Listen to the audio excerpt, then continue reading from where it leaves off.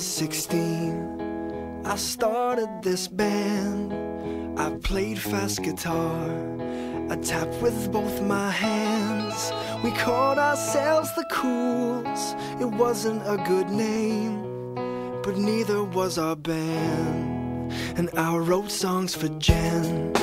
Jen was my girlfriend. She said my songs were fun. I asked her a question Will you come to our first show? The Cools go on at 10 right after Grand PM. She said that she would, she would if not for one. One thing she'd never done, she'd never seen her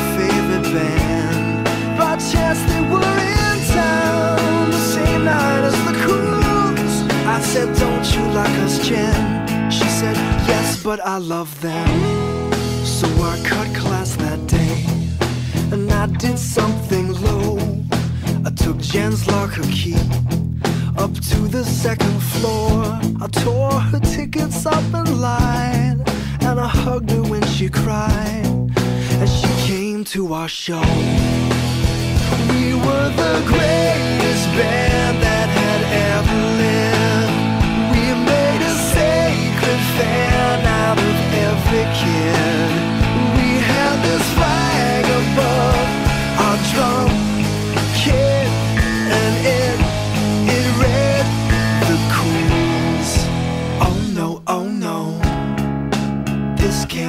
so.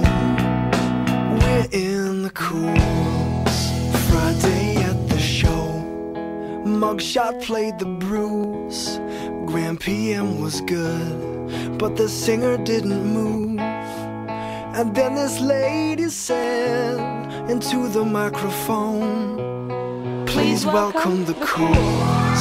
Said Jen, what did you think? She said that it was good, except one thing I hadn't done. I didn't dedicate a song. Well, I said, come on,